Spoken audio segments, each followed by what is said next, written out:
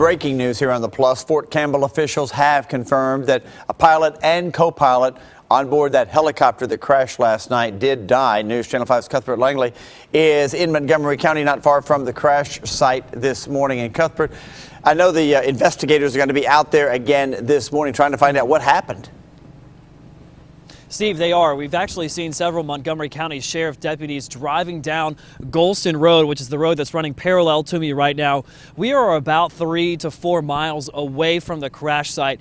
It's sealed right now as the investigation begins into what went so wrong last night. The identities of the pilots killed have not been released to us this morning, but I have been able to gather from the Fort Campbell officials up there that they were members of the 101st Airborne Division. They were on a routine training mission when their Apache helicopter crashed. Here is a look at the scene from Sky 5 HD.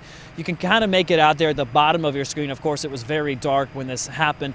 This was in a field, again, in a very rural area in Montgomery County. In fact, we were speaking with rescue crews last night who said they had a hard time finding the crash site, but once they did, they found the helicopter engulfed in flames, and unfortunately, the pilots were declared dead there on the scene. But in terms of what went wrong here, those questions have yet to be answered because, of course, the investigation is just beginning. This happened late last night, so obviously we had to wait for daylight in order for the investigation to really uh, take hold here. So, of course, we are expecting updates to come down from Fort Campbell throughout the morning. And as soon as we get those updates, we'll be sure to update you on our website at newschannel5.com. For now, we're live here in Montgomery County this morning. I'm Cuthbert Langley, News Channel 5.